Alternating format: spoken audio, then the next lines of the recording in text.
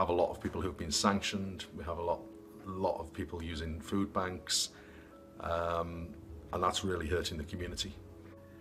The no- mental health not been mentioned in none of the papers for the elections or anything.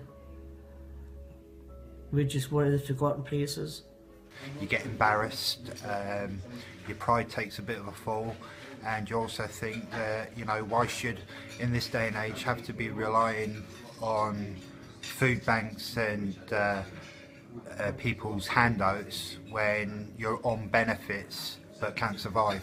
So how if you've never experienced it, if you have never ever had to choose between heating and eating, then how are you in a position to demonise or tell other people or help those that are unfortunately in that position?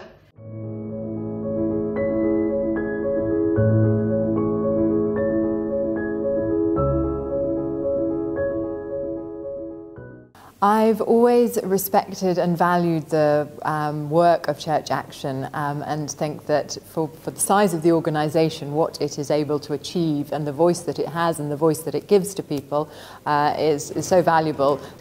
I think one of the key things and one of the things that Church Action is great at is, is actually encountering people who are in poverty. Uh, I think a lot of churches that are more wealthy um, perhaps never hear directly the, the voice of people who are experiencing lived um, experiences of poverty.